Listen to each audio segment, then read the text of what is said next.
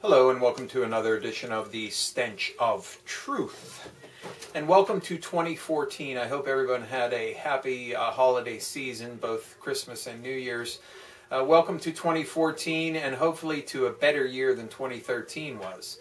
Um, I see some trends that make me hopeful and happy that things are going to turn around in 2014, or at least begin to turn around. Uh, there's no way anybody's going to be able to predict exactly what's going on and when and if anything's going to happen as far as big and major events, but I really feel as though 2014 is going to be the beginning of some kind of revolutionary movement. Because of what we saw in 2013, because we saw massive protests in some cases, because we saw some victories here and there against the corporate oligarchy. And that's the enemy, you understand you have to stay focused on the idea that we need to be out there demanding our economic rights. To not be robbed and fucking have everything stolen from us by the banks and corporations and by proxy the government that run that is run by the corporations. Okay? If anybody's really worried about a new world order, it's already here with the corporations dominating the entire world. Okay? They are attempting to write the rules as they go along. And have no fear, all the stuff that is uh, being presented by uh, people as oppositional to the government in the sense that, oh, the government's evil, the government's bad. Well, it is evil and bad because it's being controlled by the corporations. Okay? So even when you look at things that seem to be governmental areas of responsibility, such as the NSA massive collection of fucking private data, cell phones, phone calls, internet, everything, and storing all of this for later use, you can guarantee, and I'll tell you, I absolutely fucking guarantee it, that that information is being shared with corporations in order to make them fucking more fucking money. Is there no end to the fucking greed that is permeating and like acid dissolving through the very nature of everything that was ever any good about this fucking country. There is no end to the fucking greed. Because if there is a fucking penny behind 10 motherfucking feet of solid reinforced fucking concrete underneath your fucking house. Some corporation's gonna come and spend massive amounts of money to get that fucking penny away from you to add it to their fucking bottom line. They don't give a shit.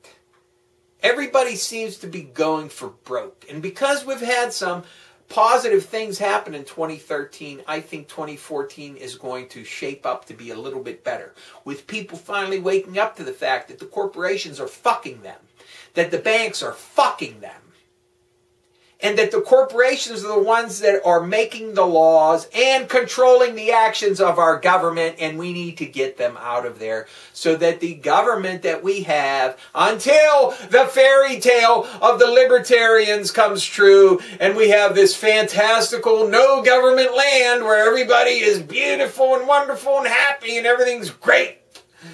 Until that day comes, I want a functioning government, a government that actually is at least in theory, working for me. Being my representative. Not because I'm shoveling mountains of motherfucking cash to them like corporations do, but because it's their fucking duty and their goddamn job. How about that? So until we have the magical, mystical utopia of no government, Let's fix the fucking government that we have in the meantime. Why don't we? By getting the money, the corporations, the fraud, the fucking corruption, and everything else out of the fucking government. But stay focused on the real enemies, folks. They're the ones with the money. They're the ones that will not be held responsible for anything. The bank's guilty of crime after crime after fraud after theft after thievery of every fucking kind. Not a single fucking banker, not a single fucking charge. And if you're rich, you can apparently murder people too and get off because you're too rich to know better. I, I, I didn't know killing people was wrong. Because I'm rich, I can do whatever the fuck I want.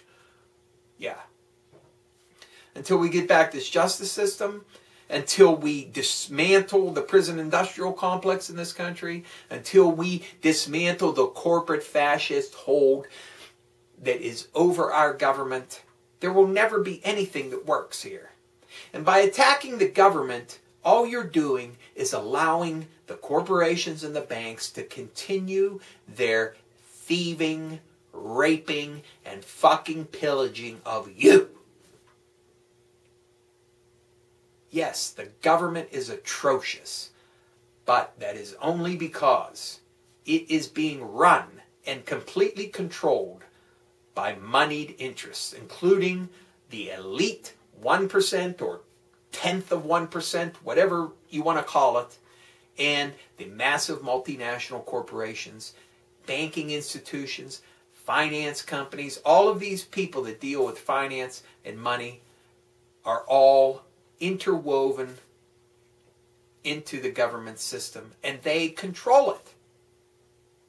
So until we reach that utopia, we have to fight for what is ours and what we should have a right to.